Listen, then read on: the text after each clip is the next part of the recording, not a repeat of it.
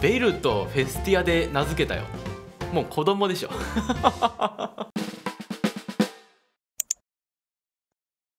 はいどうも皆さんこんにちは。カズマックスです。今日もアニメリアクションしていきたいと思います。えー、今日は、断末3期の第1話ですね、えー、竜の少女と書いて、ウィーネ、こちら見ていきたいと思います。まあ、いよいよ3期ですね。これまで1期、えー、外伝のソードラトリア2期、そして OVA といろいろね、挟んできた、この断末シリーズでございますが、いよいよ3期ということで、来年4期が待ってるらしいんですけれども、とりあえずまあ放送分はこれで最後ということで、少し寂しいんですが、まあ、楽しくね、見ていきたいと思っております。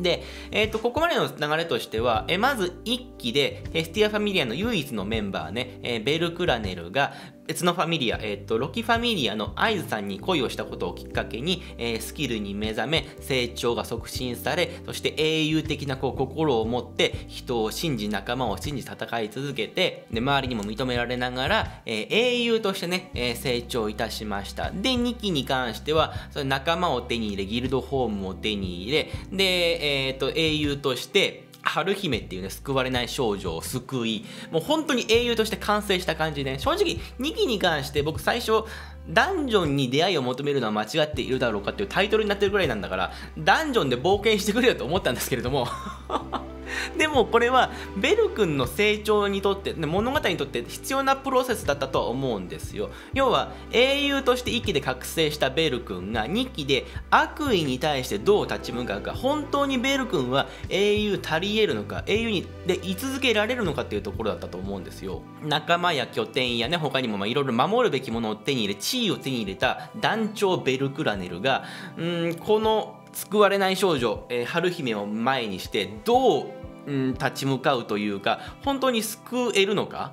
英雄として犠牲を払う覚悟で自分のことを顧みず一歩を踏み出せるかっていうところをま描いた感じだったと思うんですよね。だからこそ必要だったと思うよ。でそれを経ての今回3期ですから多分ダンジョンに戻る気はするんですよね。ファミリア引き連れてえっ、ー、と今ベルフとリリとミコトとあと春姫ね。まあ戦闘に参加するかわかんないけどまあレベルブースト係としてこの5人でダンジョンに向かうと。一期の頃とはもう比べ物にならないくらいねみんな強くなっているからうん50階層過ぎまでねいけるかは分かんないけれどもとりあえず、まあ、30くらいまでいけるんじゃないかって踏んでるんですよね。レベル多分3とか4とかみんな行くだろうから、まあ、そんな感じで。あとああれだ。2期の最後で、えーと、ダンジョンの壁からなんか女の子なのかなんか生まれてましたよね。あれが一体何なのかまあその辺もね楽しみに今回第3期見ていきたいと思います。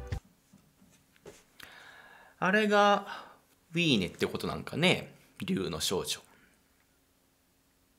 うん。あ突然来た。絶対役。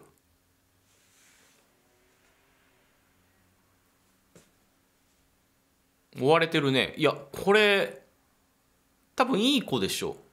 これ見る感じ。これ生まれた子だよねあのダンジョンの壁から。おお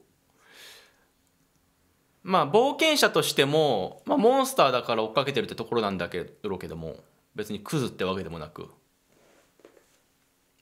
うん。仕方がないってこと？おベベル。追っかけてきたんじゃない？たまたま出会ったってことでいいのかな？いや違うん。たまたまだね。で今ちょっとかっこよかったねベル君の登場の仕方。多分サラマンダーウールだと思うんだけどマント。英雄やん完全にもう。風貌が。傷ついてるね。ああ泣いてるよ。ああそうだよね。初めて見ただろうねベルもね。めったにないっていうかもう普通ありえないことなんだろうね。このモンスターが自我を持ってるっていう。人と変わらない。あ守ったね。やっぱサラマンダーウールだね。耐火性に優れた。おあどうするべきか迷ってるか？みんなが追っかけてるね。まあモンスターなんだからしょうがないね。こいつら。おあサラマンダーウールで守ってるんだ。うん。よくバレなかったな。まあモンスターを守るわけないってのは思ってんだろうね。ベルとしても正直ちょっと迷ってるね。まだ。よかったね。出会ったのがベルで。でも一人なのかなベルは。ソロ狩り？ああーベル。あーあ仲間が来た。やっぱみんなでやってんだね。あ春姫もおるやん。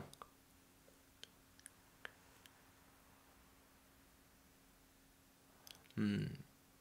その方は？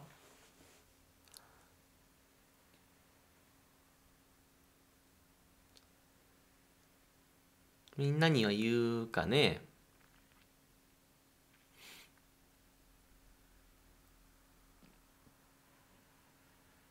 言葉は喋れるのかな？でも女性ってのは分かるんだね。あおう。いやまあこれが正常な反応だわな。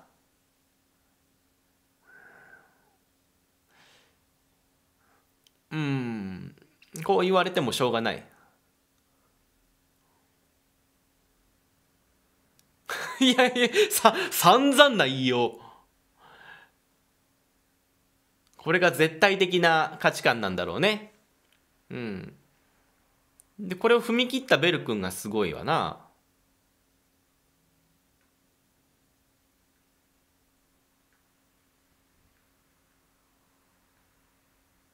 喋ったね。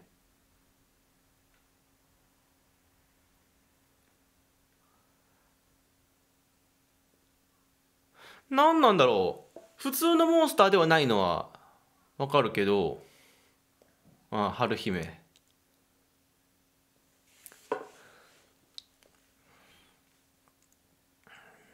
うんうん。いいね。全部言ったね。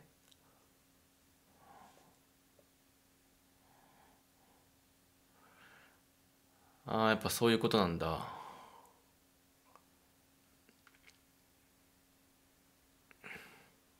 ベルが言うならってことか。いい仲間やな本当にな。お前らすげえよ。それだけの存在なのにモンスターは。いい仲間だ本当。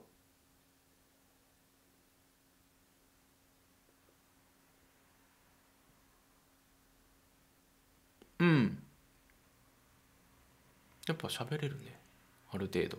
片言だけど。単語一つ一つだけど。理解してるね。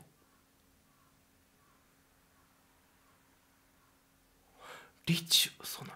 もう分かってんだ。まずい。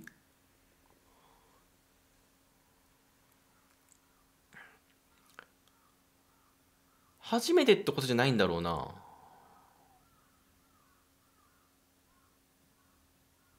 うん。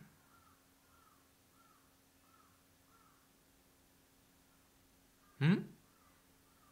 彼らの希望？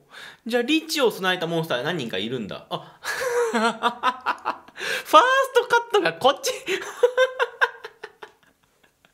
いやあの好きですけどね。ありがとうございます。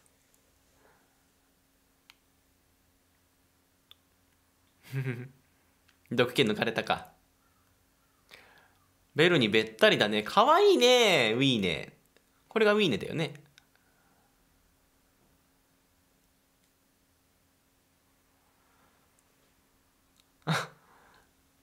あ私あやっぱり喋れるねある程度。ビーブル。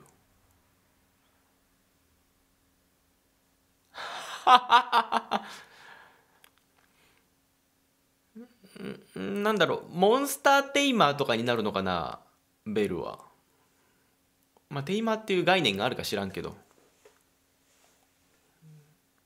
ウィウィル G ね。へえ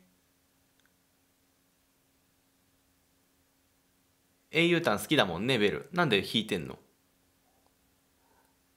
ああちょっと恥ずかしい感じね。あなるほど。ベルとフェスティアで名付けたよ。もう子供でしょ。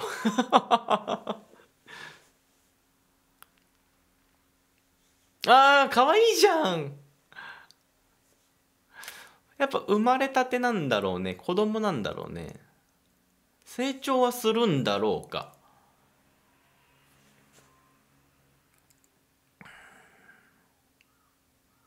うん他にも同じような事例はあるのかな？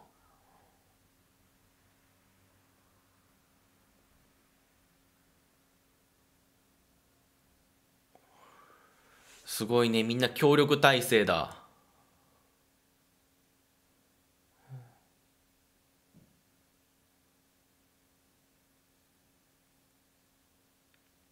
でもウラヌスの側は知ってたよね。悪いものではないでしょう。うん。うん。モンスターだからね、うん、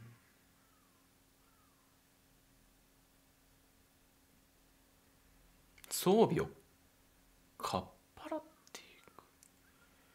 それもリチを備えたモンスターだね。結構大規模なのかな。まあこの間のあのいやそのまさかでしょ。あのミノタウロスもさ一応オッタルが無理やり上げて剣は持ったけどさあんなレベルじゃないんだろうね。ほんと普通の少女やね。かわいいね。春姫すごいな。かわいい。爪長い。ああダメダメ。モンスターであってもねちょっとちょっと裸はねまずいですよ。なんか服とか用意してあげんのかな？あこれはパイセンか？パイセンだね。ななんかちっちゃくね？気のせい。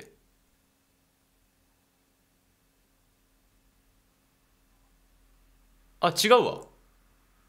この声はリリーだわ。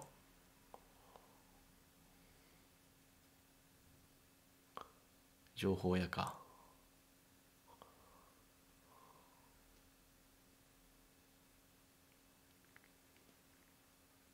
お お前か。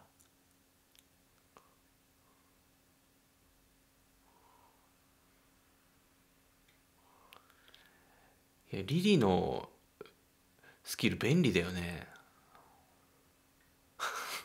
お前は。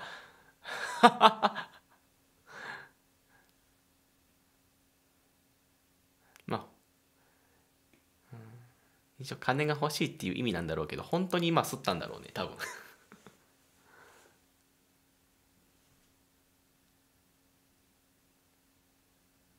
売った？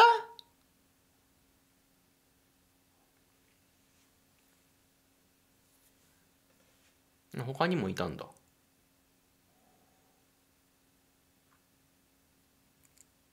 あの追っかけってやつらは違うんだろうな多分。ダンジョンの異変。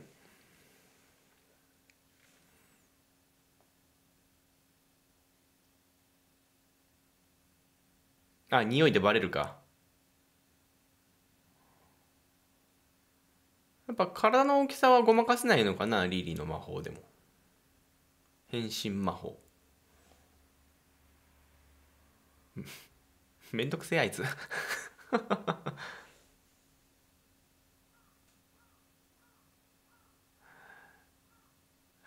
春姫完全馴染んだな。そのメイド服も似合ってるよ。フルフルーツとおにぎりってどういう組み合わせやねん。初めてのご飯なんじゃないまともな。モンスターがまあ飯を食うのかは知らんけども。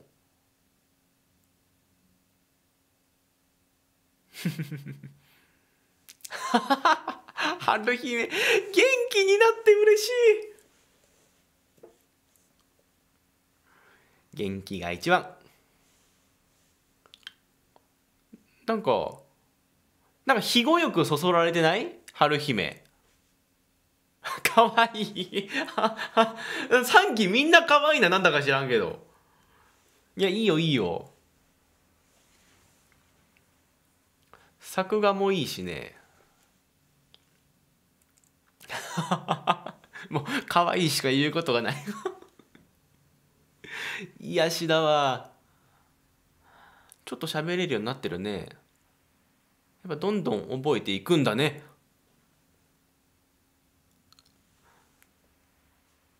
お兄ちゃんやね。むしろパパやな。ベルパパ。あ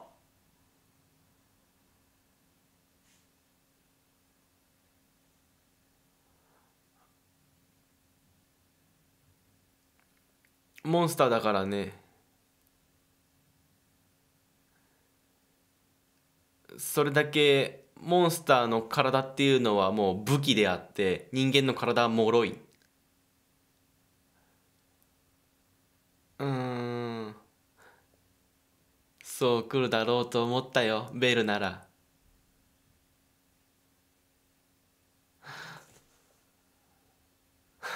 ベル お前最高や。痛いだろうに。すすべてこらえて笑ってあげてる。うわあうわいいいよかった。今一瞬さ離れちゃうかなって思ったけど。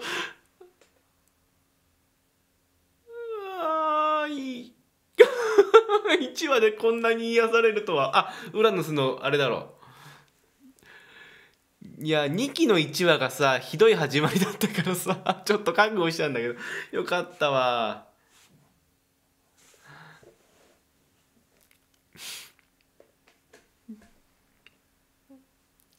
いやみんなありがとうね本当に。ベルのために。ポーションとか使ったのかな？じゃないで あみんなにか。あごめんごめん。ただいまと間違えたのかと思った。よかった。この笑顔が失われなくて。おおみこともおいおい。悪い気してないじゃん。やっぱ言葉が使えるようになって。あお前が作ったんか。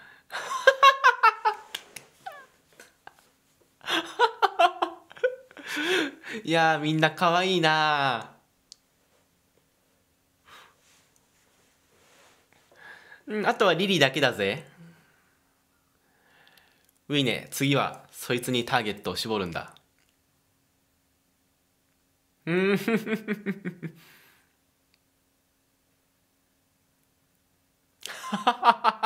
いやもう恐れているとかないんじゃないの？ただあの爪はどうにかしないといけないかもしれんね、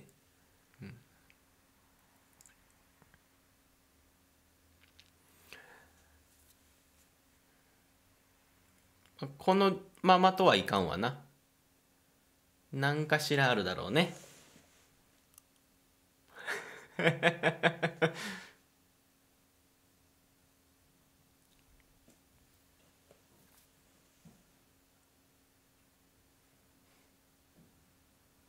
女性陣人気やね。一緒にお風呂入るんか？まあ今ウィーネは自分っていうものをまだ分かってないからね。どういう存在で人間とモンスターっていうものはみたいな。まあ男も女もね。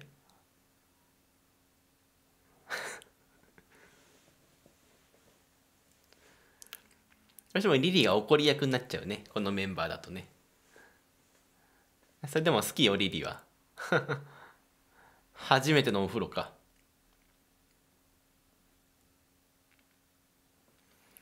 ヘスティアも懐が深いわほんと。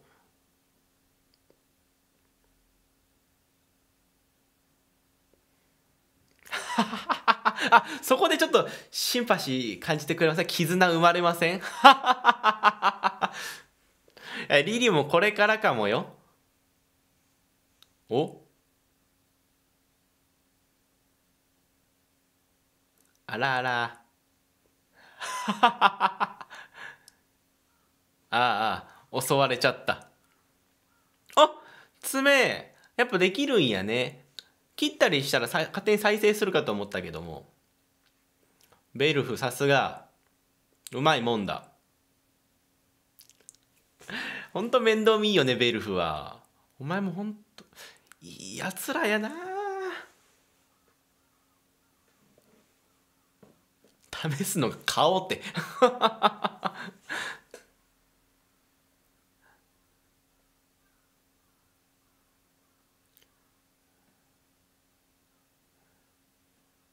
リリもやればいいのに。そんなわけないよな。大大大好きですよ。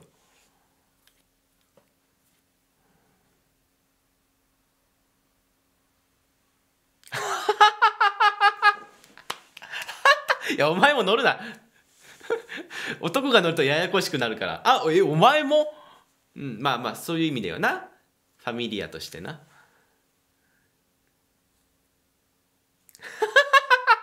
おいリリおいベルお前。仲いいね。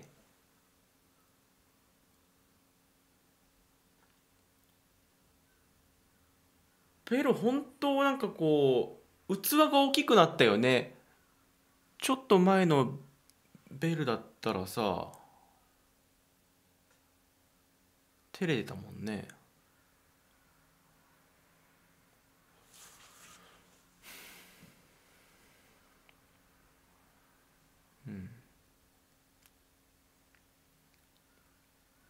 ああいいね。でもすんなりとはいかんだろうね。やっぱある程度知ってるんだ。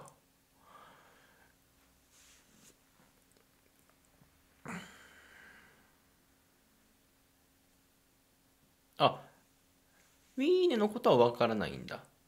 その他のことでダンジョンについて喋っていないことがいくつかある。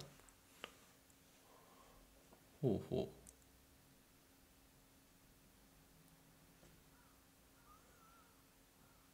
う。うんリリもリリで冷静に見てるね。みんなのこと考えてるわ。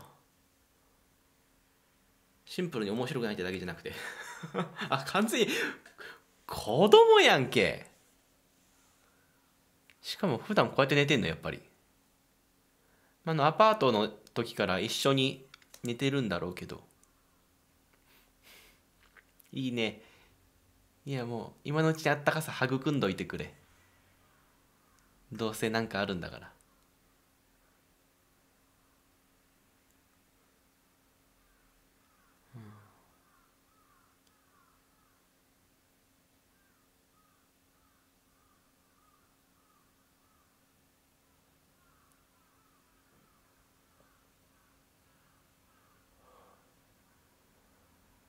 多分本当にあったことなんだろう。これまでは自我がなかったんだろ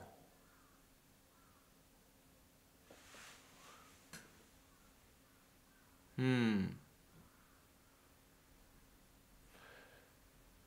どっちなんだろう。もともと自我があってダンジョンのシステムによってこう暴走状態になっているのが本当のモンスターとかそれとももともとはモンスターは本当に敵そういう存在なんだけどたまたま今回覚醒したみたいな自我を得たみたいな。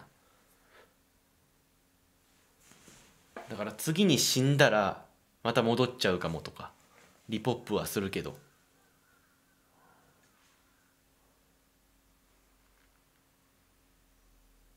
うん。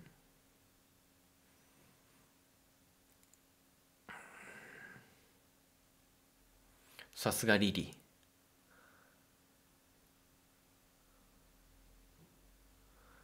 ヘルメス。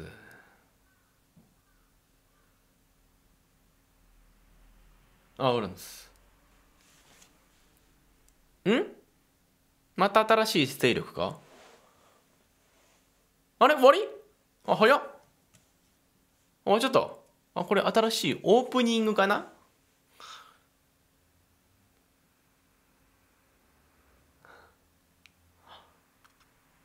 いいじゃん。いいじゃん。うん今のちょっとのカットだけでも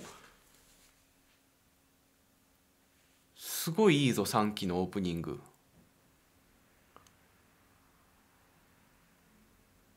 あ愛車ね。でこのあの人何なんだろうな。ちょこちょここう情報をくれたりアイテムくれたりお弁当くれたりするけど。何お前。目つき悪いな。やっぱりみんなウィーネを狙ってくるんだな。でもベルは守るか。ベルは一度守ると決めたら絶対決めるもんな。あ、なんかハーピーみたいなの出てきたぞ。え？ベル側？それ。なんかモンスターハンターみたいなこと？お、なんやなんや？あ、あ、そういうこと？ウィーネ以外にも、え？アイズさんと対立？まあ、ヘスティア・ファミリアだけが守るって感じになってるんだろうね。モンスターたちを。おお モンスター。片翼って書いてもさどういうことや？